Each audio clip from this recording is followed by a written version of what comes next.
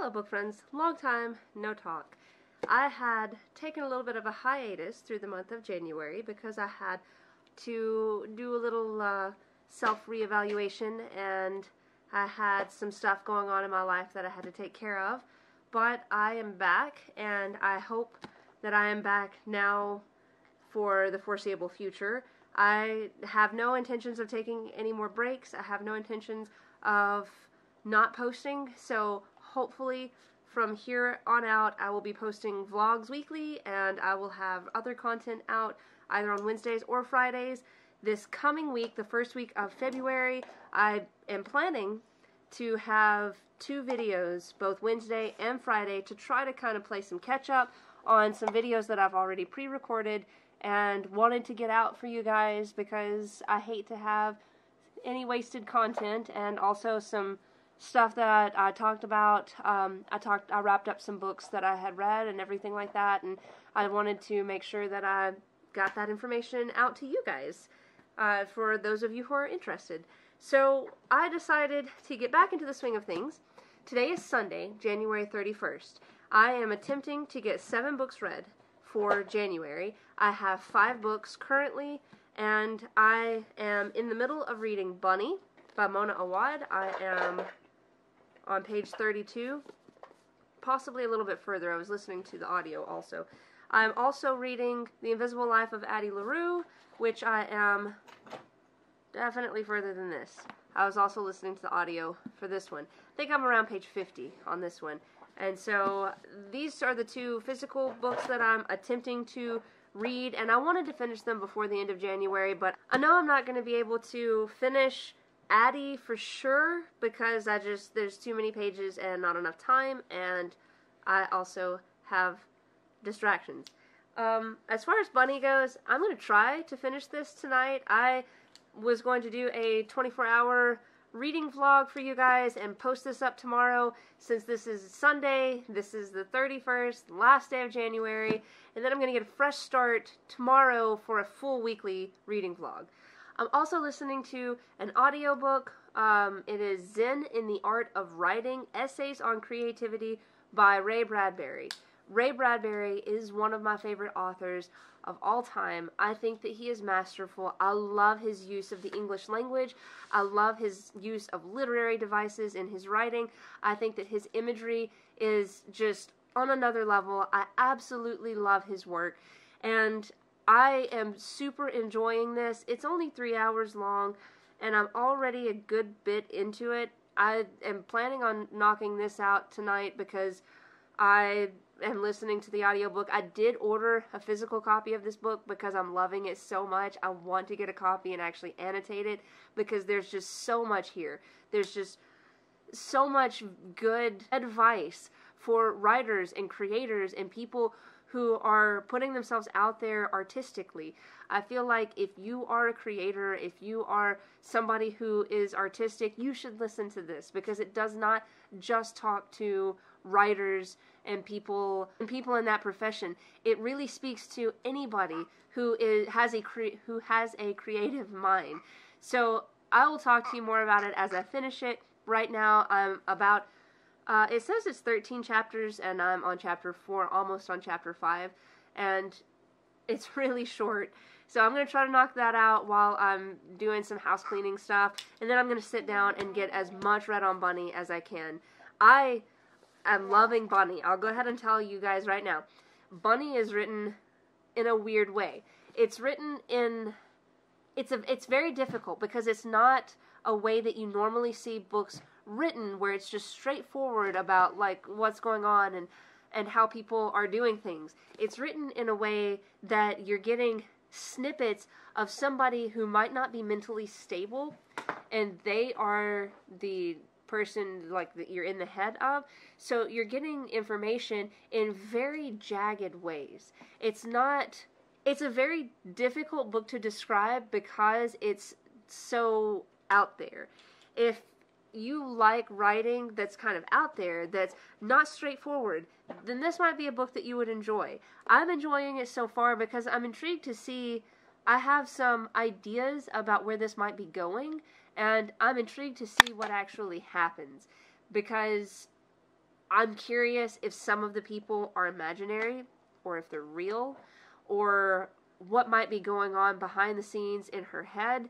Uh, I'm, I'm just intrigued to see where this book goes because I've heard it's a wild ride and I'm seeing that firsthand, and I've heard that it just gets crazier as it goes. So I guess I'll find out, and I will let you guys know as I get further into this. I'm excited. I haven't done a 24 hour reading vlog before. I'm going to stay up as late as I can tonight. I have coffee, and my cup says it's 5 a.m. somewhere. This is a cup that's meant for having caffeine in it at all hours of the day. And that's what I'm planning on doing today so that I can get as much reading finished as possible. That being said, I'm going to stop talking to you guys now and get back to my reading. I'm also, before I go, playing a little bit of Animal Crossing because I've been I started another island and I'm just having a really good time setting up a second island and maybe I will show you guys at some point what I've got going on. Right now there's not a whole lot to see because I just started it, but maybe later I will show you guys what's going on with that. So, I'll catch up with you guys in a little while.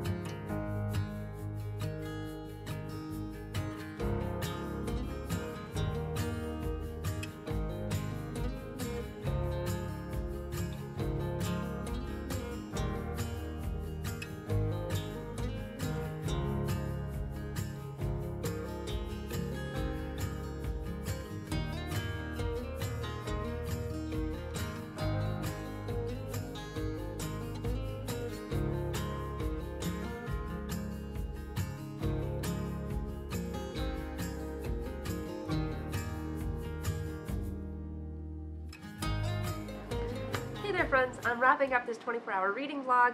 I didn't have uh, a whole lot of time to do a lot of vlogging yesterday evening whenever I first started this because the children went to bed, it was very dark in the house and just not good enough lighting to be talking to a camera.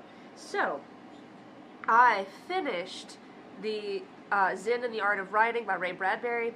That book is phenomenal. If you're looking for inspiration for being a creator, for being a writer, for being an artist of any sort, I would definitely recommend his words. He and Neil Gaiman seem to have a lot of the same kind of thoughts when it comes to writing or just creating in general, and I really appreciate both of them for what they have to say on the topic of being creative. I think that they have very profound words in that topic, and I think that if you are looking for that, you should go to either one of them, specifically Zen and the Art of Writing by Ray Bradbury. But also, if you if you're interested in this topic, you could also look to Neil Gaiman as well.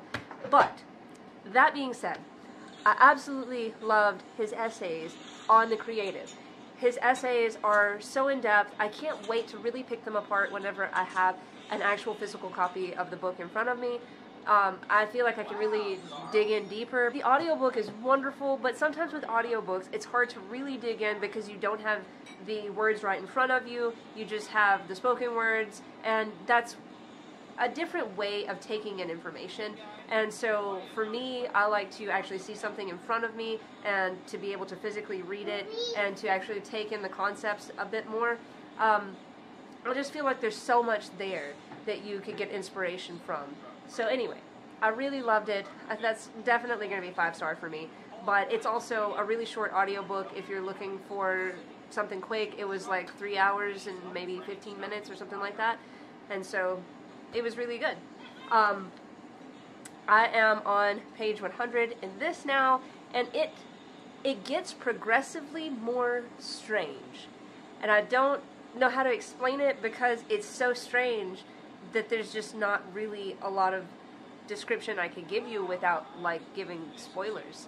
So I have some ideas about the narrator being unreliable. It seems like she is dealing with some issues and that she may not be completely reliable, that what's actually going on may not really be what's going on, um, at least up to this point. And so I look forward to seeing what happens next because I have a feeling things are about to get weird. So, or weirder because the book is weird altogether. But man, it is so good. It's one of those that when you start reading it, it's hard to put it down because it's so strange. And I may have already said this before, but it's just such an interesting story. And the way that it's written, the, the surrealism of the story is just captivating because it's like it's different. That's the biggest thing. It's different. So it's not straightforward, which I know I said before.